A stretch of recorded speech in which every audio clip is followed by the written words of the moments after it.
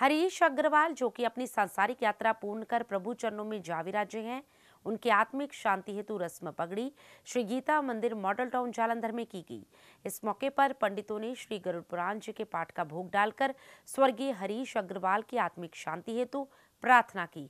इस मौके पर पूर्व मेयर जगदीश राज राजा सहित पारिवारिक सदस्यों में बेटा मुनीश अग्रवाल, अनुभा अग्रवाल आशु गुप्ता, आशीष गुप्ता, अनु अग्रवाल, चिराग अग्रवाल, खुशी, सहर्ष अग्रवाल, अक्षित, कृषांग, अलीशा सहित राजनीतिक, धार्मिक तथा सामाजिक वर्ग से जुड़े लोगों ने पहुंचकर स्वर्गीय हरीश अग्रवाल को श्रद्धांजलि भेंट की। एक जीवात्मा जिस समय इस संसार रूपी माया नगरी में आँखें खोलती है।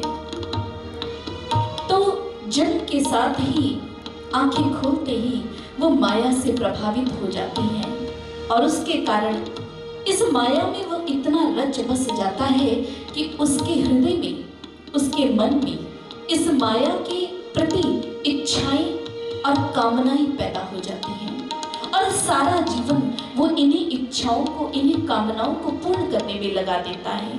लेकिन शास्त्र कहते हैं, इंसान के जीवन में जिस समय इन कामनाओं का आगमन होता है तो उसके जीवन में उसका जो लक्ष्य है, उसका, उसको वह बिसर जाता है, उसको वह भूल जाता है। जैसे स्वामी रामत तीर्थ जी एक बड़ा ही सुंदर एग्ज़ाम्पल एक उदाहरण दिया करते हैं इस विषय में। वो कहते हैं, मान लीजिए कि एक स्त्री अपने मुख पर घूंघट डालकर दर्पण के सामने बैठे कि मिरर के सामने बैठे तो जिस प्रकार से वो अपना चेहरा नहीं देख सकती है ना, क्योंकि उसने अपने मुख को ढका हुआ है।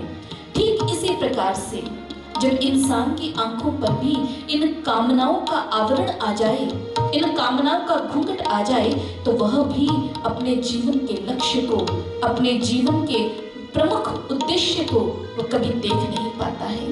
ये कामनाएँ इंसान को अपनी ओर खींचती हैं। अपनी ओर घसीटती है और जीवन का लक्ष्य वो परमात्मा कहीं दूर छूट जाता है।